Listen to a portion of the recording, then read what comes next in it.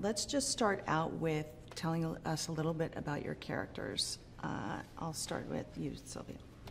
Um, my character's name is Love, uh, L-U-V. You write it, and she's um, Wallace's right hand in the movie. She she'll do anything, the whole world for him. Um, they have a very intense, complex relationship, I'd say. And I think you know she's very much in search of her own identity, as you know other characters in the film are as well. I play Joy. Joy is uh, obviously very important in Kay's life. She's uh, his lover and best friend and only friend, the only person he can trust to and share what he's going through. And she's kind of, you know, the light at the end of the tunnel for him. And she's there to push him to, you know, follow that path and find those answers that he needs to know about. My character's name is Mariette, and she comes into Kay's life um, and has sort of a, an intermittent relationship to him um, in the movie. Um, I don't know how to describe Yeah. her. Like, she's and she does that, there, and yeah. um, they, they feel like that. That's great. So, uh, what what attracted you to this role, and were, what was the most challenge, challenging part about creating this character? I'll start with you, Mackenzie. I mean, I, I, I was.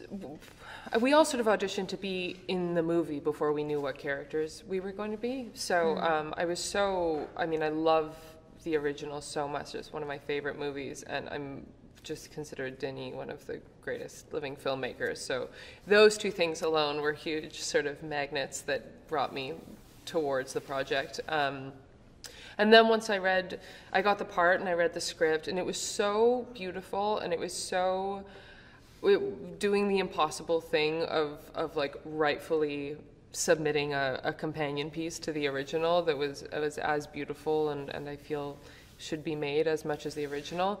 Um, and I just wanted to be a part of this world and work with these people. And I loved the character. She was so sort of sneaky, and I don't know. I thought about her as like a like a rat that had survived a nuclear winter, and uh, Wet rat. yeah, just like a wet rat that kept showing up.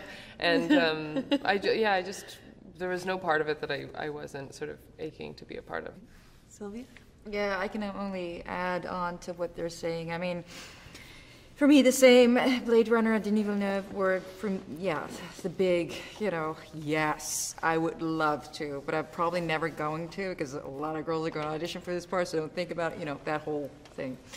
Uh, and actually, when I, you know, got the part um, and read the script, I, I thought, you know, my character Love has you know, I had the chance to be able to work with so many different elements, you know, such a rich palette of vulnerability, strength, humor, satire. Um, I think, you know, she was, she's a fashionista. She's, um, she's conflicted. She has so many sides to her, and I thought, you know, that was just so, I was so grateful as an actress to be able to get this part and be able to work with that, you know, such a great um, responsibility and chance. Yeah. Yeah, she was a kick-ass. Yeah.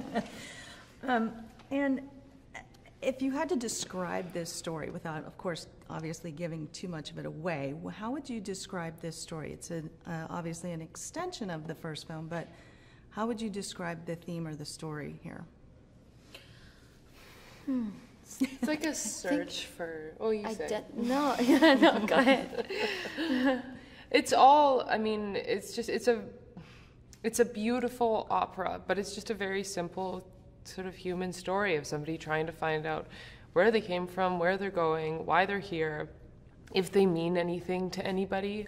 Um, it's really lovely, and and and the whole emotional journey is quite like intimate and small. It just takes place in this beautiful operatic universe. It's just these people trying to find their own identity and trying to connect with someone or something that gives sense to their existence. Yeah, I agree. I thought you said like it felt like an opera to me. Mm-hmm. Yeah, I think you know these huge scenes and you know, my heart started pounding in my throat, and then these small, intimate dialogues where you're almost next to Ryan, or, mm-hmm. you It's almost like this action thriller futuristic film, and the it doesn't tempo of the movie. It is not being conditioned by this huge universe. It's like it keeps going the way it's supposed to be, like very real and very human and very you know intimate. You know, it's not rushed by where the place we're living in. Given the, um, you know, the, the first film has obviously s- become very iconic and has held up over all of these years, do you feel that audiences will need to go back to that one in order to understand this one? Or do, it, does it stand on its own? It fully stands on its own. I think they should because it's also a beautiful movie and it just deepens the experience. But it's not um, it's not a sequel in the sense that there's a bunch of information that you won't understand if you don't watch the original. It's really a standalone. I mean, if you obviously watch the first one, then you can, you, you know who these characters are. I mean, uh, Rick Deckard in this case, and what happened 30 years ago. But it's a it's a complete new stories, new characters in in, in the film. Like, um, yeah, it's um, yeah. You don't you don't need to see it to relate, and you know it is compelling, and it, you you you care about these characters and yeah for that i don't think you need to see anything Right. just connect To with this uh, I think Denis calls it a love letter to the original. So I think it's nice to see the original, but it's definitely a Denis Villeneuve film, I think, you know. And speaking of Denis, what did he bring to this project as a director? He's just such a, he has such a huge inner wor- world. His inner world is so magical, and he has, I believe, you know, such a talent in communicating that world to his crew and his cast, and just creating this very safe environment where everybody feels that they can be vulnerable and just, you know, improvise and try things and come up with ideas. He's, I think he really has a very strong core of belief in his own ability. He's just so very talented. I haven't mm-hmm. really met mm-hmm. anyone like him. Mm-hmm. Yeah. we love him. Deeply deeply